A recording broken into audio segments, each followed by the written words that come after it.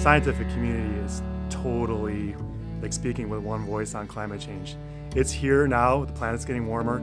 It's us, it's 100% caused by us, and it's bad. There's as strong a scientific consensus on um, you know, human-caused dangerous climate change as almost any question in science. Climate breakdown, a warming climate, warming planet, affects like almost everything that we care about as humans. It's not all or nothing. It's not a binary.